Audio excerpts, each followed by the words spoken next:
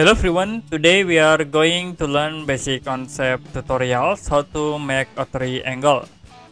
Click sketch and I will choose top plane, go to top view.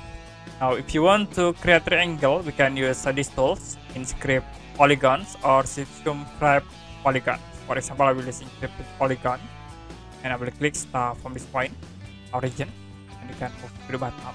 Click. Next you can set for side into 3 again to apply. To set dimension, we can use this tool, dimension, select the edge, then you can type, type like uh, 50, press enter. We create triangles with uh, 50 for the side length. Okay, to apply. The other option you also can use for circumscribe polygon, which like at this point, and you can move to the top Thanks for side into 3 and after it we can use uh, this tool horizontal to set uh, this line horizontal. And then this is for the dimensions. Okay and set the dimension.